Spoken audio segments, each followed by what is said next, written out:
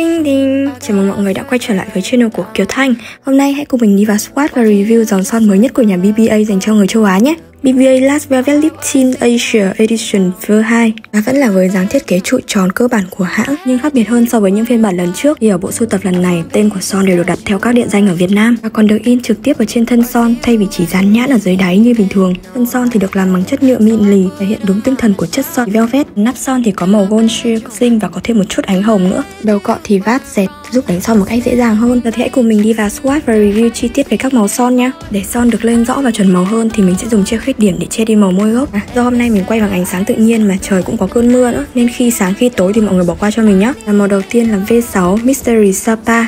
Tông neutral không nghiêng ấm cũng không nghiêng lạnh.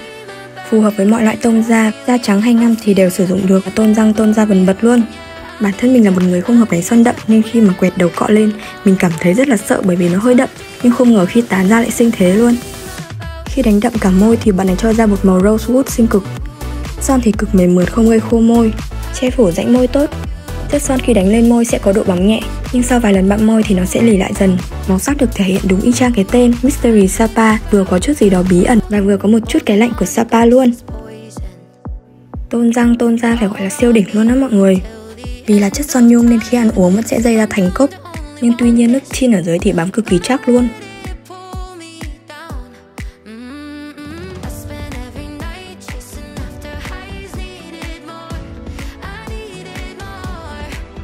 Màu số 2 là V7 Healing mũi né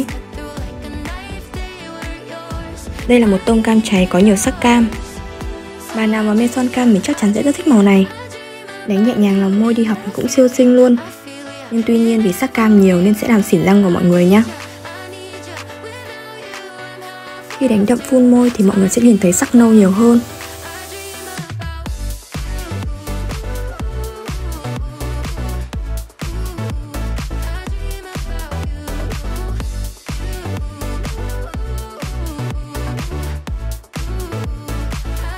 Tiếp theo là V8 Dragon Hạ Long Bay.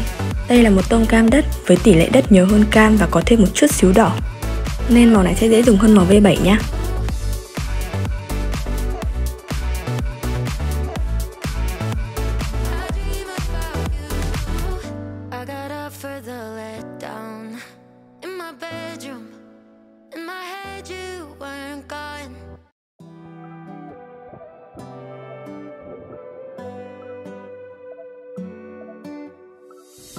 Tiếp theo là V9 Kinh Đồng Huế. Đây là một màu nâu đất có một chút ánh vàng. Khi đánh nhẹ thì sẽ ra một lớp base màu cam nút.